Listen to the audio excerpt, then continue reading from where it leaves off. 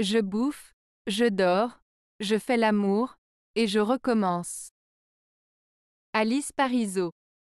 Cette citation exprime une simplicité de vie et une certaine forme de routine quotidienne axée sur les besoins fondamentaux de l'être humain. Manger, dormir et avoir des relations sexuelles. Elle peut également être interprétée comme la volonté de se concentrer sur les choses simples de la vie, plutôt que de chercher constamment à atteindre des objectifs complexes ou ambitieux. Cependant, certains peuvent également trouver cette citation un peu simpliste et réductrice de la vie humaine et des expériences qui peuvent la rendre significative.